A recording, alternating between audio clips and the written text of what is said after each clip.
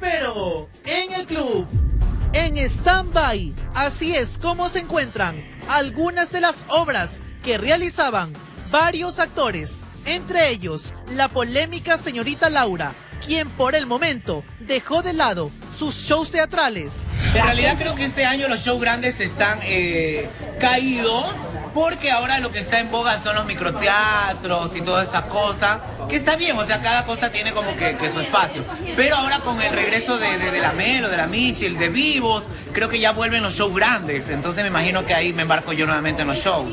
Pero he descansado este año por eso, porque está en boga los microteatros.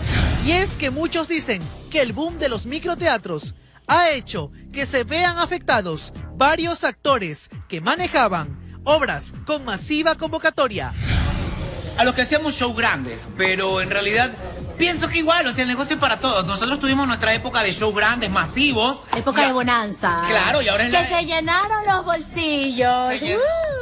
Uh. bueno, pero ahora es la oportunidad para los actores que, mira, que había muchos actores que no tenían la oportunidad, el espacio para que la gente disfrute de sus obras. Entonces ahora están en microteatro. Ese tiempo de ellos pasará el momento y llegará otro.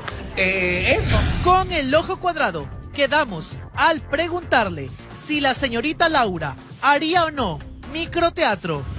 No, porque más ganan los que son dueños de los, de, los locales, te cuento. Más el esfuerzo de una, ya estoy lanzando trompitas. Y más ganan son ellos y llevan el 50%.